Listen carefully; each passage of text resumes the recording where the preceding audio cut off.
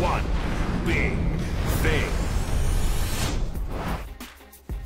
Halloween hot take coming. Back up. Y'all ready? I don't like candy corn. It's not circus peanut bad. Those things are garbage. I don't even know if they make them anymore, but they shouldn't. Anyway, I tweeted out something today about candy corn. I was unaware it was such a third rail topic, but on Halloween, man, this was a volatile subject matter.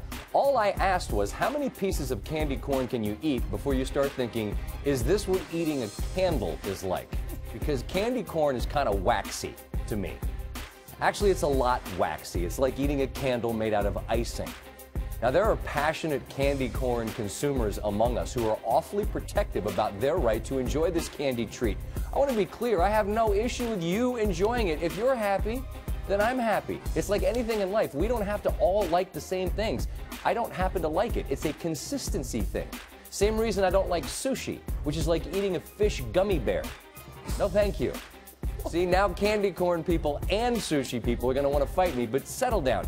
You get to like what you like, and I get to like what I like, and neither one of us is crazy if they don't overlap. Here's the one thing I would ask about candy corn, though. If it's so good, why don't you eat it in January or April or August? Why would there only be one holiday a year when you ate it?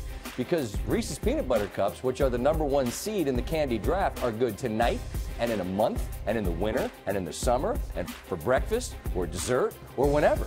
There is no bad time. Also, do you say Reese's or Reese's? Because it's been pointed out to me that I say it weird. I just want everyone upset with me. Candy corn people, sushi people, Reese's, Reese's people. It's fine. This is important journalism that we are tackling here. Happy Halloween. Oh, and by the way, I'm right. You want to know how I'm right about the candy corn? Because Mike Leach says so. Do you have an opinion? Oh, one I've way or the never liked candy. I think it's just awful.